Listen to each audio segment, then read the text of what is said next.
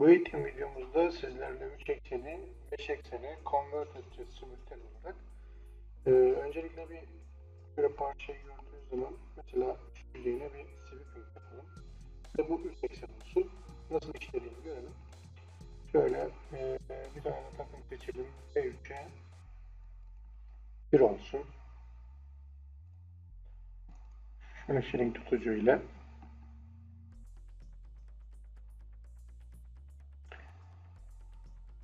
Daha önceki devrilemelerle gelsin. Sadece onu alıyorum. 3 eksen bir işlem nasıl yaptığını görelim diye. Bak.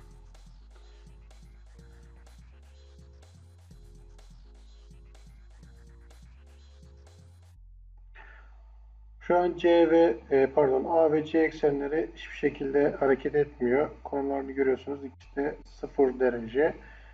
Şimdi Saving komutunu editliyorum ve multi-axis açıp burada 5 axis aktif ediyorum. Ee, burada istediğiniz zaman e, bir tilting yani takımın e, ekseninin hangi noktadan geçeceğini belirleyebilirsiniz. Onu da başka parçada size göstereyim.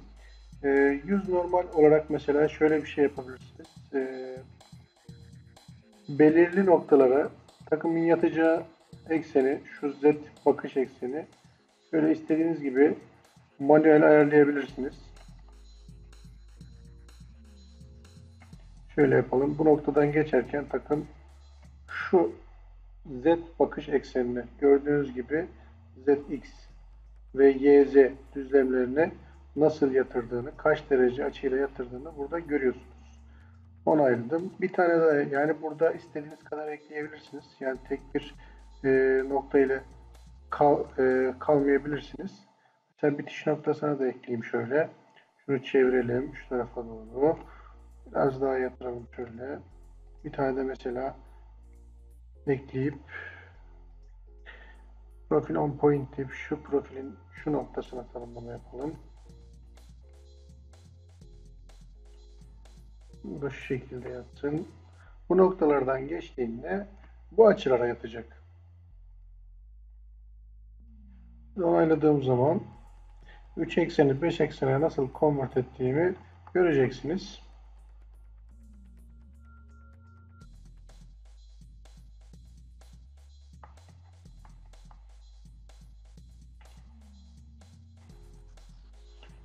Az önceki A ve C eksenlerinin sıfır konumu şu anda A ve C sürekli hareketli. Gördüğünüz gibi gayet düzgün bir takım yolu oluşturarak bu yüzeyimize finish atmakta. Sweeping komutunu 3 ekseni 5 eksene çevirdik. Sweeping komutu.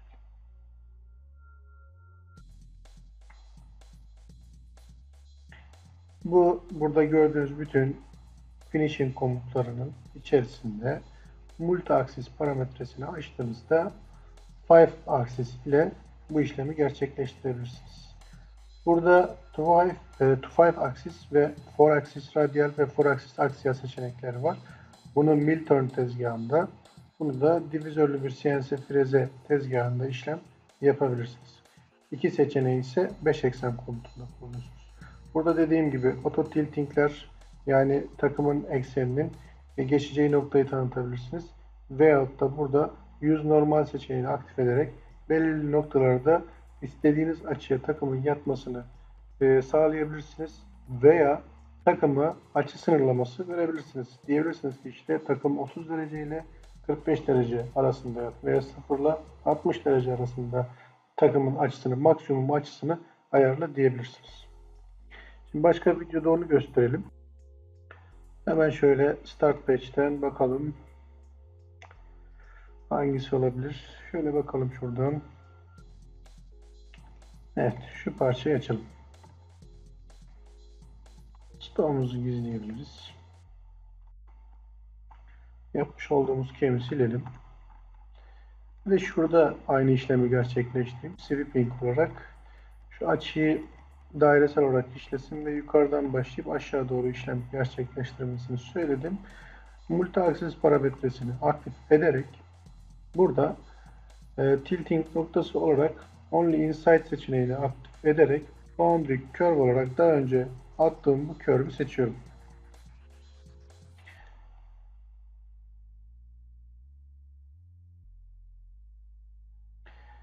Şimdi baktığınız zaman hesaplama bittiğinde göreceksiniz.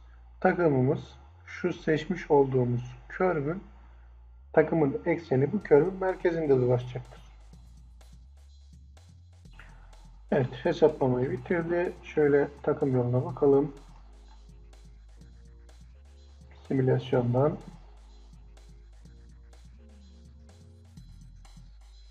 Bakın takımımız şu takımın orta ekseni gördüğünüz gibi bu körden bu seçmiş olduğumuz körün merkezinden hiçbir şekilde ayrılmadan parçanın içerisindeki formu çok güzel bir şekilde işlemekte.